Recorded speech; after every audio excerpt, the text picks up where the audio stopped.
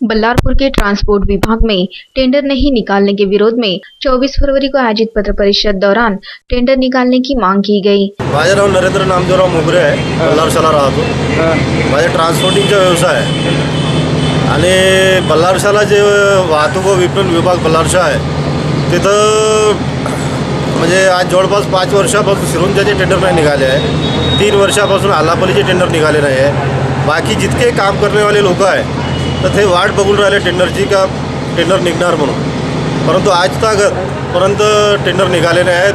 काम करायला तैयार है पण टेंडर निघत नाही आहे. पत्र परिषद दौरान ट्रांसपोर्ट विभाग के सभी कार्यकर्ता, पदाधिकारी व कर्मचारियों की उपस्थिति रही।